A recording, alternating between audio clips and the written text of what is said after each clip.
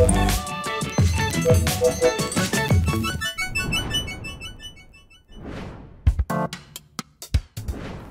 सेहत पर मेल आया नंदन का। जयपुर के रहने वाले हैं।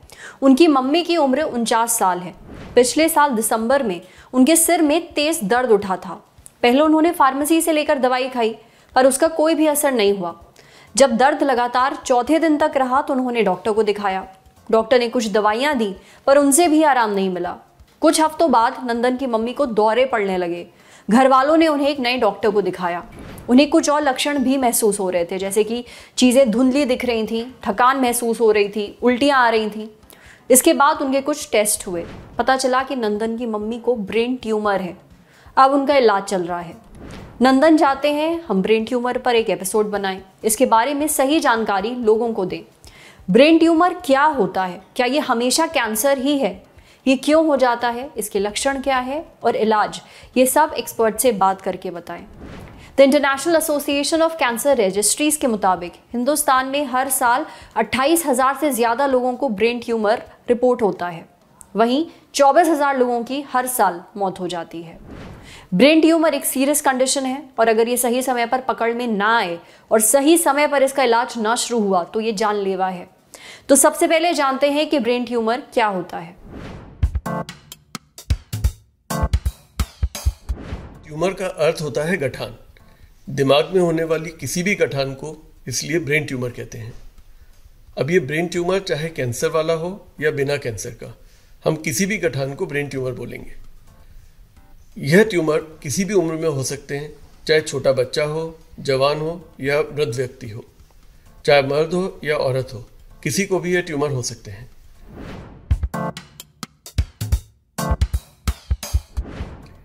ब्रेन ट्यूमर आमतौर पर दो किस्म के होते हैं। कैंसर वाला ट्यूमर और नॉन कैंसरस ट्यूमर, जिसको कि बिनाइन ट्यूमर भी बोलते हैं। जो नॉन कैंसरस ट्यूमर होते हैं, वो जनरली ब्रेन के बाहर पैदा होते हैं। ब्रेन के अंदर जो जितने भी ट्यूमर होते हैं, वो कैंसरस ट्यूमर होते हैं। जो ब्रेन के बाहर ट्यूमर पैदा होते हैं, सबसे कॉमन मेनिंजोमा होता है, दूसरा एकोस्टिक ट्यूमर होता है, और ये नर्व से या ब्रेन की कवरिंग से पैदा होते हैं और ब्रेन को दबाते हैं। इनका इलाज ज़्यादा सिंपल होता है और इसके अंदर रिज़ल्ट भी काफ़ी अच्छे रहते हैं। जो कैंसर वाले ट्यूमर होते हैं, वो ब्रेन के प्राइमरी कैंसर हो सकते हैं, जो मतलब कि ब्रेन के सेल से ही उत्पन्न होते हैं, या मेटास्टेसिस होती है जो कि शरीर में और कहीं कैंसर हो, वो फैल के दिमाग में चला जाए। इस किस्म के कैंसर दिमाग में कई जगह पर भी हो सकते हैं। कई बार किसी किसी मरीज़ में तीस तीस चालीस चालीस ट्यूमर तक हो सकते हैं। जो प्राइमरी कैंसर होते हैं, वो आमतौर पर एक ही कैंसर होता है और एक ही जगह पर होता है। कई लोगों को लगता है कि बचपन में कभी कोई चोट लगी थी जिसके के कारण उनको ट्यूमर हो गया। बट ये सब धारणाएँ गलत है। ब्रेन ट्यूमर का, जनरली स्पीकिंग, कोई कारण नहीं होता। बहुत रेयर केसेस के अंदर किसी को बचपन में रेडिएशन मिला हो, दिमाग को तो उसके कारण आगे जाके ट्यूमर हो सकते हैं। बट ये बहुत ही एक रेयर कारण है। अधिकतर लोगों में कोई कारण नहीं होता और ये ट्यूमर अपने आप पैदा हो जाते हैं, चाहे वो कैंसर वाले हों या बिना कैंसर के। अधिकतर मरीजों को सर में दर्द होता है। आमतौर पर पूरी जन, जनरल पब्लिक को भी सर में दर्द हो सकता है बट जिनको ब्रेन ट्यूमर होता है उनको दर्द ये लगातार रह सकता है। तो किसी को भी अगर दर्द लगातार काफ़ी दिनों तक बना रहे तब उसको किसी डॉक्टर से संपर्क करना चाहिए। दर्द के साथ में खासतौर से अगर उल्टी हो रही हो डबल दिखने लगे या पैरालिसिस हो जाए या मिर्गी का दौरा पड़े ये सब चीज़ें ब्रेन ट्यूमर के लक्षण हैं। कुछ कुछ अलग अलग ट्यूमर्स के अंदर, जिस तरह, जैसे कि एकोस्टिक ट्यूमर है, जो कि कान की सुनने वाली नर्व से अराइज होता है, उसके अंदर उस कान से सुनना कम हो जाएगा।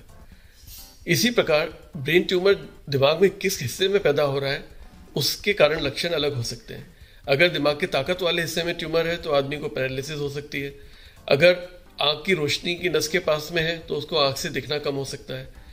कभी कभी कोई ट्यूमर दौरा कर सकते हैं। किसी किसी ट्यूमर में दिमाग में पानी पड़ सकता है उसके कारण सर में दर्द हो सकता है।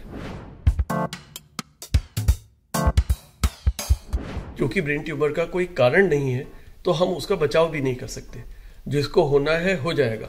और पता तभी चलेगा जबकि या तो कोई लक्षण होंगे, या फिर कभी किसी और कारण से उसका सीटी स्कैन या एमआरआई हो। जैसे कई बार लोगों को चोट लग जाती है, उसके कारण सीटी स्कैन होता है तो उसके अंदर गलती से ट्यूमर मिल जाता है। ब्रेन ट्यूमर का नाम सुनकर लोगों के मन में दहशत आ जाती है और बहुत लोगों को लगता है कि यह ज़िंदगी का अंत है। बट यह सच बात नहीं है। बहुत से ब्रेन ट्यूमर्स का इलाज सक्सेसफुली संभव है और कई ट्यूमर्स बिल्कुल हमेशा के लिए कंप्लीटली क्योर हो जाते हैं। जैसा मैंने बताया कि कैंसरस ट्यूमर हो सकते हैं नॉन कैंसरस हो सकते हैं, दोनों का इलाज अलग अलग तरह का होता है। कैंसरस ट्यूमर्स के अंदर हमें सर्जरी करनी होती है पहले और बाद में उसमें रेडियोथेरेपी और कीमोथेरेपी करनी होती है। नॉन कैंसरस ट्यूमर्स के अंदर अधिकतर मरीजों के अंदर हमें सर्जरी करनी होती है बट कुछ जो छोटे ट्यूमर होते हैं, वो बिना सर्जरी के उनका इलाज संभव है, उस ट्रीटमेंट को रेडियो सर्जरी कहते हैं, जिसमें कि हम बहुत हाई डोज रेडिएशन देते हैं ट्यूमर को मारने के लिए। जैसे डॉक्टर साहब ने बताया ब्रेन ट्यूमर का पता सीटी स्कैन और एमआरआई से चलता है। इसलिए डॉक्टर के बताए गए लक्षण दिखने पर ये टेस्ट ज़रूर करवाएँ। जितना जल्दी ट्यूमर पकड़ में आ जाएगा, उतना ही जल्दी इसका इलाज भी शुरू हो सकता है और जान बच सकती है, क्योंकि ट्यूमर का इलाज कई केसेस में मुमकिन है। हालाँकि ट्यूमर ज़रूरी नहीं है कि कैंसर ही हो, पर यह जाँच में साफ़ होता है, इसलिए सही समय पर टेस्ट ज़रूर करवाएँ। अब बढ़ते हैं सेहत के अगले सेगमेंट की तरफ़।